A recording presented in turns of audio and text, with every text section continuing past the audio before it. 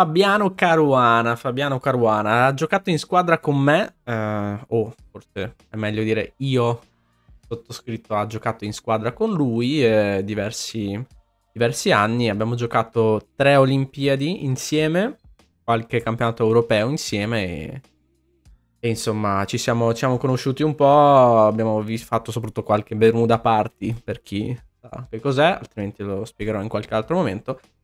Quindi cerchiamo di capire chi è questo Fabiano Caruana. Fabiano Caruana quindi nasce nel, novan- nel 1992 a Miami, in Florida, Stati Uniti. E trascorre gli anni fino al 2005 lì, dove ottiene diversi successi a livello giovanile e poi si trasferisce in Italia a rappresentare il nostro bello amato pa- paese fino al 2015, giocando appunto eh, tre Olimpiadi con me, ma quattro totali tra il 2008 e il 2015 eh, 14, anzi due con me. Due con me e quattro totali. È conosciuto eh, sostanzialmente eh, per la sua capacità lavorativa sugli scacchi. Nel senso che è in grado di lavorare tantissimo tempo, è, lav- è in grado di lavorare ad una intensità molto alta e soprattutto negli anni in cui è stato in Italia ha lavorato moltissimo con alcuni dei, degli allenatori più famosi e più bravi, da quello che si dice, nel mondo. Per esempio un nome che spicca tra gli altri è quello di Bruce Pandolfini, che è stato ex, l'ex allenatore di Fisher, Robert James Fisher, niente proprio di meno. Eh, Boris Zlotnik, un altro allenatore sovietico molto famoso che si è trasferito negli Stati Uniti. Altri due che sono Chernin e Chuchelov, che sono due che hanno allenato praticamente tutti i più, i più forti eh, 2007 più giocatori negli ultimi 20-25 anni. Infatti non è un caso che il suo stile sia paragonabile a quello di un supercomputer, per cui la sua qualità principale è quella di riuscire a calcolare anche varianti complesse con una uh, accuratezza veramente impeccabile e mm, quindi riusci- riuscire a risolvere qualsiasi posizione proprio con la forza bruta del calcolo. Nel 2014 i suoi risultati esplodono del tutto perché vince il torneo di Dortmund, che è un torneo storicamente molto forte, e soprattutto ha la storica perf- performance nel torneo di St. Louis, dove ha iniziato, pensate, con 7 punti su 7 partite, battendo tutti più forti al mondo in quel momento. Ha battuto Carlsen, ha battuto Topalov, ha battuto Aronian, ha battuto Vacher. E quindi bianco-nero è stato una macchina. E ha vinto il torneo con 8,5 su 10.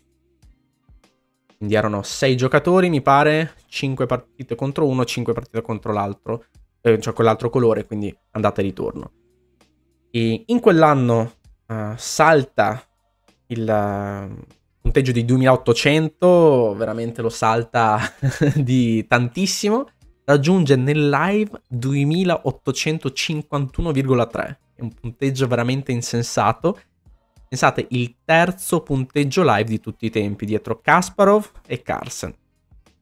Nel 2015 quindi riceve una proposta che non può rifiutare, ma dalla federazione statunitense, cambia bandiera e rappresenta gli Stati Uniti per poi nel 2018 giocare quello che è stato uno dei match più combattuti degli ultimi decenni, direi, contro Carlsen, visto che Carlsen gli altri match sostanzialmente li ha dominati e entrambi avevano un elo pazzesco, nel senso che Fabiano aveva 2832 e Carlsen 2835. Quindi se Carlsen avesse perso una sola partita in quel match, cosa che effettivamente sarebbe stata possibile in più occasioni, Fabiano sarebbe salito sul tetto del mondo, portandosi al numero uno nel live rating. Fabiano in generale è considerato anche al giorno d'oggi il secondo giocatore più forte del mondo a cadenza classica. Tra l'altro in questi giorni proprio si sta svolgendo il torneo di Fisher Random dove pensate pensate la finale è proprio Carson Caruana. E attualmente, tra l'altro, è l'unico giocatore al mondo, oltre a Carlsen, ad avere un punteggio FIDE a cadenza classica superiore a 2800, 2804 per l'esattezza. Per fare un esempio di una partita di Fabiano, vediamo una delle sue partite, diciamo, modello su come Fabiano eh, è in grado di portare a casa il punto. Questa partita quindi è stata giocata nel 2013, nel 2014, scusate, nel famoso torneo di Dortmund di cui ho parlato prima. Nel 2014, l'anno in cui Fabiano ha performato uh, un punteggio assolutamente impossibile al torneo di St. Louis, dove ha iniziato con 7 su 7. Questa partita è stata giocata contro tale Ruslan Ponomariov, che è stato uh, uno dei anzi è stato il campione del mondo, in quell'anno ha vinto il campionato, eh, la Coppa del Mondo che era considerata come un titolo mondiale, anche se ufficialmente insomma mm, la gente non è contenta di considerare questi campioni del mondo tali, diciamo così. Eh, quindi Fabiano in, in, questa partita gioca contro Ruslan Ponomariov, Fabiano 2-7-89, Ponomariov 2-7-23. Quindi Fabiano inizia con la mossa E4, che era il suo repertorio principale in quegli anni. Nero fa E5, cavallo F3, cavallo F6.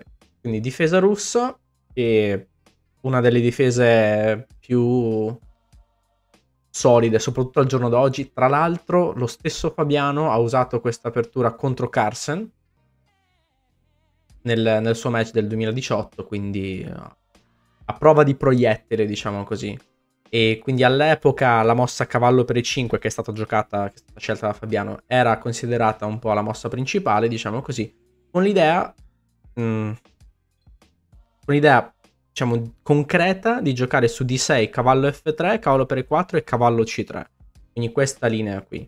Chiaramente adesso, per esempio, è, è considerata più interessante la mossa d4 qui, oppure le linee ancora più vecchie, diciamo così, con di 4. Altre possibilità. Comunque, la mossa cavallo C3, all'epoca considerata un trattamento moderno della linea, dopo cavallo per C3, D per C3. L'idea è aprire l'alfiere, decidere se svilupparlo in E3 o in F4, poi fare donna di 2 ed arroccare lungo. Quindi il nero continua con alfiere E7, alfiere E3, e qui il nero continua con cavallo C6 in questa partita. Al giorno d'oggi, ed è anche la linea che ha scelto lo stesso Fabiano contro Carsen, generalmente il nero preferisce arroccare subito corto, senza diciamo preoccuparsi del fatto che comunque arroccando subito corto il nero definisce la sua posizione del re, quindi il bianco chiaramente dopo donna di 2 arroccherà lungo e lancerà questi pedoni addosso. Però dopo la mossa cavallo di 7, insomma c'è un po' di teoria, a quanto pare il nero sta bene eh, senza aver paura delle complicazioni. In questa partita il nero ha fatto cavallo c6, quindi la mossa cavallo c6 non definisce ancora la posizione del re e di conseguenza il nero potrebbe poi fare alfiere e6, donna di 7 e arroccare lungo. Donna di 2, alfiere e 6 e arrocco lungo. Il nero continua con, con donna di 7. A questo punto il bianco ha diverse possibilità, per ora fare B1 mettendo il re al sicuro. Generalmente questa comunque è una buona prassi, nel senso che adesso il re è difeso da 3 pedoni, anzi 3 e mezzo, quasi 4 direi, visto che anche il pedone in C3 è un ottimo difensore. In realtà qui non è obbligatorio fare re B1, forse il bianco può iniziare anche da altre mosse, per esempio H4 è una possibilità per poter lanciare cavallo G5 o anche fare H5, oppure altre, altre mosse, non so, si può fare alfiere. Comunque re B1, mossa sana. E qui il nero non decide di giocare subito al rocco lungo perché secondo me, tra l'altro, qui c'è una mossa molto fastidiosa del bianco che è alfiere B5 e l'idea del alfiere B5 è inchiodare questa, questo cavallo ovviamente con la donna dietro. Su A6 adesso il bianco ha due opzioni. Può sia fare alfiere A4 mantenendo questa, eh, questa inchiodatura, preparando cavallo di 4, oppure può anche tornare indietro, per esempio in D3, creando un'idea che è molto tipica contro questo uh, tipo di, di, pedoni, che è la mossa donna e 2 per eventualmente poter sacrificare in A6. Comunque, secondo me, questo tipo di posizione non piaceva tanto alla, al giocatore, a, a Ponomariov, quindi ha deciso di fare alfiere F6.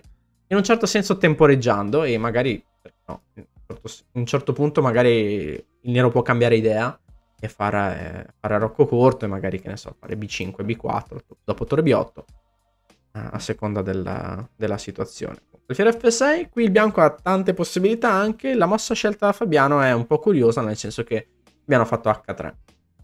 Qual è l'idea di H3? L'idea di H3 è eventualmente preparare G4, anche in caso di arrocco corto, e il bianco, come dire, posticipa lo sviluppo dell'alfiere, nel senso che l'alfiere può comunque continuare ad essere sviluppato in B5, ma anche in G2 dopo un eventuale G4. Questa era anche, mi sembra, il commento di Fabiano a, a questa mossa H3. Dopo H3 il nero fa H6, che anche questa è una mossa d'attesa, anche se, beh, oggettivamente la vedo difficile per il nero arroccare corto, perché avendo anche fatto H6 il bianco avrebbe la, dire, una spinta in più per aprire li- le linee sul lato di, sul lato di re. H6, B3 da parte di Fabiano, G4 era sicuramente possibile, però B3 è un'altra alternativa, dire, rafforzo un po' il, il, lato di donna. Un po' francamente questa mossa mi è, mi è strana, però magari in alcune situazioni, non so, non voglio, non voglio eh, permettere cavallo E5 con una mossa cavallo C4, non lo so. Io personalmente avrei giocato G4, ma chi sono io per dire che B3 non è buona? Su B3 il nero ha fatto A6, impedendo una volta per tutte questa mossa alfiere B5. G4 da parte del bianco, era che era la sua idea, e finalmente il nero decide di arroccare lungo. E qui, dopo arrocco lungo, si forma questo tipo di posizione. Dopo alfiere G2, um, ehm, quindi alfiere G2 il bianco si prepara a fare cavallo D4. In pratica l'idea del bianco è quella di um, ottenere una posizione abbastanza simmetrica, per così dire, ma con un pizzico di uh, pressione. Nel senso che comunque l'idea del bianco dopo cavallo D4 è quella di spingere il pedone F. Ed è quello che succede in partita. Il bianco, che, che il nero fa G5 qui, che ok, non mi piace tanto come mossa, effettivamente.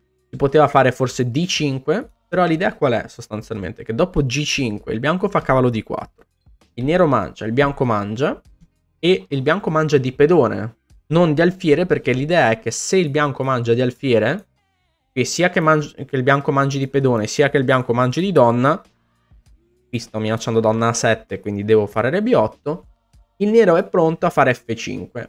Facendo F5 il nero sostanzialmente farà esplodere tutto il lato di re e in pratica, in pratica risolve tutti i suoi problemi.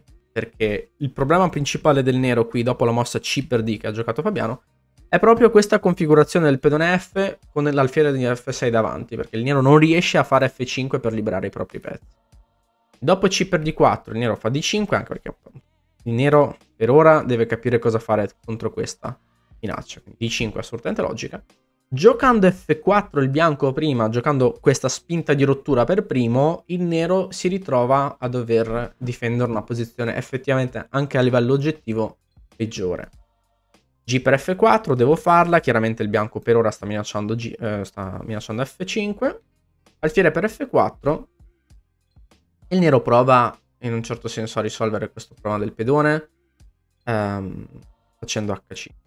Chiaramente il bianco spinge in G5, alfiere G7 e qui invece della mossa H4 che è anche assolutamente possibile anche se la mossa H4 lascia la casa G4 per l'alfiere, il bianco fa torre D e 1. Quindi permette al nero di giocare H4 ma dall'altra parte il bianco guadagna tempo e questa anche è una caratteristica, diciamo, di Fabiano, vedremo anche più avanti, che Fabiano non si fa scrupoli a fare delle mosse che magari umanamente sono difficili da fare, perché oggettivamente umanamente permettere al nero di fare H4 è una cosa che insomma non, non mi verrebbe tanto naturale. Mi darebbe veramente fastidio che il nero riesca a fare H4. Quindi io personalmente farei H4 qui e mi accollerei, diciamo, il fatto che il nero possa giocare al G4. Però giocando torre di 1 H4 adesso il bianco ha tempo per migliorare la sua posizione. Quindi gioca alfiere I5 e più avanti, come vedremo, il bianco comunque avrà più tempo per potenziare i suoi pezzi. Il nero continua con torre di G8, non giocando alfiere per E5 perché qui no, il, il, nero perderebbe dei tempi. Qui tocca al bianco, la, la, la torre è già in E5. Giocando invece torre di G8 il nero dice vabbè, se tu vuoi mangiare in G7 così io mangio e mi hai fatto un favore, tanto meglio. Questa è anche una pratica molto comune negli scacchi, insomma, non rilasciare la tensione, ma fare in modo che se l'altro rilascia la tensione, noi guadagniamo dei tempi. Il bianco chiaramente non mangia in G7 e continua con migliorare i propri pezzi, quindi donna F4 è stata giocata. Come vedete qua il bianco non vuole fare diciamo qualcosa di super concreto, anche perché comunque la posizione del nero rimane piuttosto solida, il bianco ha parecchio ancora da migliorare. Appunto, può fare A4, può fare Re B2, può magari salire con la torre, fare l'altra torre. Per il nero risulta abbastanza difficile capire come migliorare i propri pezzi. Vediamo cosa fa il nero, quindi donna di 8. Cosa serve donna di 8? Probabilmente donna di 8 serve per eh, attaccare G5, tenere attaccato G5, ma soprattutto, soprattutto l'idea di donna di 8 è riposizionare i suoi pezzi e anche se donna di 8 sembra una mossa effettivamente piuttosto passiva, che sì, non deve essere proprio piacevole da giocare, però l'idea del nero è sostanzialmente dopo alfiere F1, un mossone da parte del bianco, ecco questa è un'altra cosa di Fabiano incredibile, nel senso che lui non si fa problemi a fare queste mosse che umanamente sono difficili da fare. Di nuovo, indietreggiare con l'alfiere solo per riposizionarlo su un'altra diagonale, intanto bisogna capire che è una cosa importante da fare. E poi bisogna, come dire, convincersi che questa cosa sia buona. È assolutamente normale qui perdere o comunque investire due tempi per cambi far cambiare l'idea, eh, far cambiare diagonale a un alfiere che comunque è già sviluppato in, in G2. A quanto pare questa è veramente una mossa. È un'idea piuttosto forte.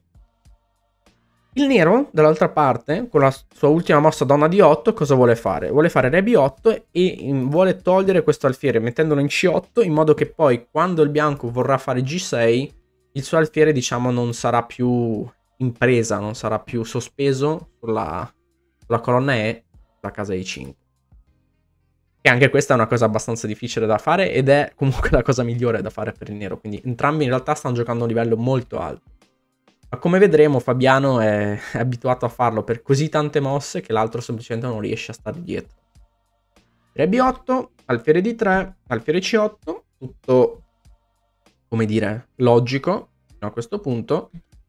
Il bianco semplicemente migliora la posizione con Re B2, quindi nonostante il nero abbia trovato il suo piano per riposizionare i pezzi, eccetera, eccetera, comunque il bianco continua a mantenere la tensione.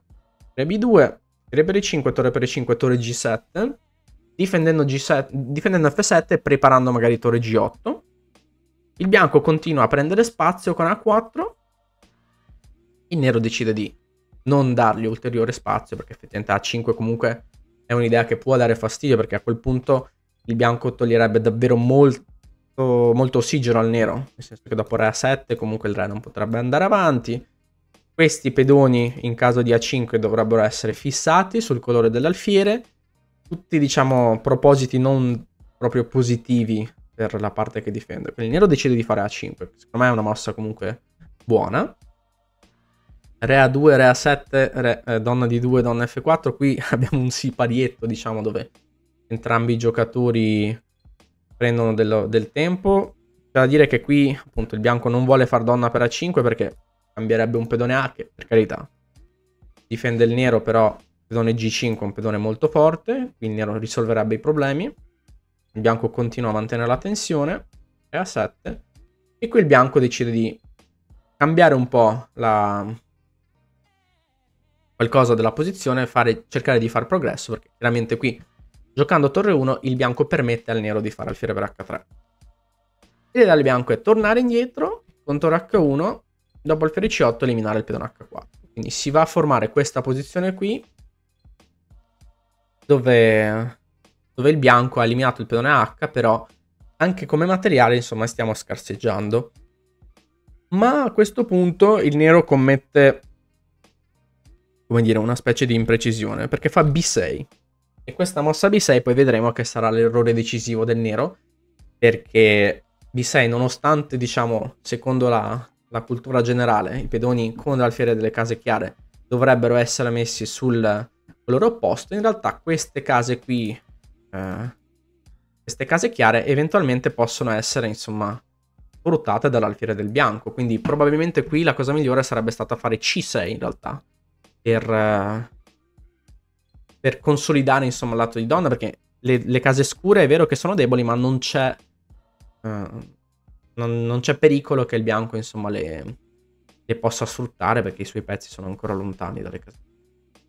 B6, donna H6, torre G8, donna C6. Come vedete il bianco sta iniziando a fare, a fare progressi sulle case, sulle case scure. L'idea del bianco è semplicemente quella di catturare di 5. E qui la mossa 36, molto vicino alla mossa 40, probabilmente in questo momento il nero stava anche scarseggiando come tempo. Insomma, il nero crolla, cosa che è abbastanza comune in questo tipo di situazione. Per cui, ehm, sì, difficile qui trovare una buona mossa per il nero. Eh, torre per G5, veramente un tipo di posizione come questo, il bianco ha un pedone in più, è molto difficile insomma accettare con il nero di dover eh, entrare in questo tipo di posizione, ma la mossa che ha giocato il nero è ancora peggio, nel senso che ha giocato alfiere E6 permettendo G6. E a questo punto il bianco non sta tanto minacciando G per F7, però sostanzialmente il, il, nero non può fare F per G6 e il bianco vuole semplicemente migliorare la sua posizione. Qui, qui il nero ha delle possibilità e gioca torre G7, che è possibile sicuramente, rafforza il, il controllo sulla casa, sulla casa F7, ma qui dopo G per F7 e alfiere per F7 il bianco ha una combinazione vincente grazie proprio alla alla superiorità dei propri pezzi. Come vedete il bianco ha i pezzi molto attivi, il nero è molto scordinato. Certo è che se il nero riuscisse a fare un'altra mossa, come per esempio magari torre G8 per far torre 8 e cercare di cambiare qualche pezzo, ok, la sua posizione diventerebbe diciamo, decente. Ma in questo momento il bianco ha una, una sequenza che vince. Se volete potete mettere in pausa questo video e cercare di trovarla da soli. Eh, è molto elegante come, come combinazione. Se non l'avete fatto, gustiamoci questa combinazione. Quindi. Il bianco inizia con la mossa torre e 7. La mossa torre 7 è semplicemente, tra virgolette, attacca C7. Ora, ovviamente, la domanda è cosa succede se il nero se lo magna. In questo caso c'è la seconda mossa pazzesca, che è la mossa alfiere A6. La mossa alfiere A6 minaccia lo, il matto in B7 e la punta, diciamo, della combinazione è il fatto che dopo re per A6, donna 8 è uno scacco matto molto bello con, insomma, tutti i pezzi del nero lontani e da, solo, da sola la donna riesce a dare scacco matto, visto che questo pedoncino copre la casa di fuga per il re. Come vedete, tutti i problemi sono nati sulle case chiare, quindi come dicevo prima, invece di B6, C6 prima sarebbe stata una mossa migliore per coprire un po' insomma, queste case. In ogni caso, questa è veramente una tipica partita di Fabiano dove continua a mettere pressione. Il nero si è difeso molto bene fino a un certo punto, ma non è riuscito a mantenere il passo ed è crollato comunque mentre il bianco ha continuato a, fare, a giocare veramente la partita a un livello altissimo. Non è un caso infatti che quell'anno, il 2014, è l'anno in cui, come dicevo prima, Fabiano ha fatto quel 7 su 7 a St. Louis, eh, risultato record quasi di tutti i tempi. C'è un altro, eh, c'è un altro risultato di Karpov, eh, mi sembra nell'Inaria 93, ma questo sarà l'argomento per un altro... argomento di discussione per un altro momento. Grazie per averci seguito e ci vediamo nei prossimi video di questa rubrica e a presto.